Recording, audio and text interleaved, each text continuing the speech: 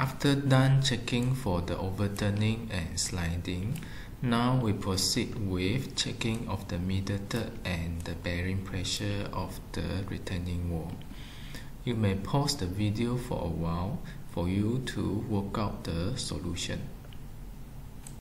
To check for the middle third, we use the equations for the eccentricity. The eccentricities of the loads needs to be less than d per 6 of the middle third. It is in the functions of half of the base minus an equivalent lever arm due to the vertical load.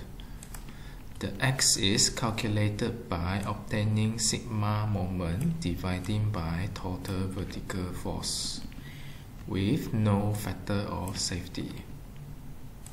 Referring back to the table that we have done previously, the total vertical load is the summations of all the vertical load including the surcharge, soil and the weight of the wall.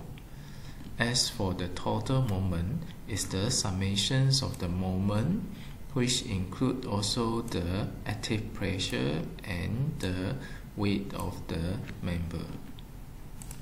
The total vertical load is obtained as 47.5 and the total moment is obtained as 39.3 kN meter. The x is obtained by dividing the total moment with the total vertical load and the eccentricity is determined as 0.005 meter. It is then compared to the 1 per 60 which is 0.275 that means the member is now is within the middle third and no lift is expected from this retaining wall. Next, you need to check for the bearing pressure.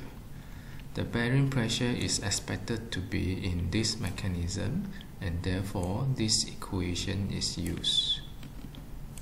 First, you need to determine the rotational moment at this point, which can be obtained by obtaining the vertical forces times the eccentricity.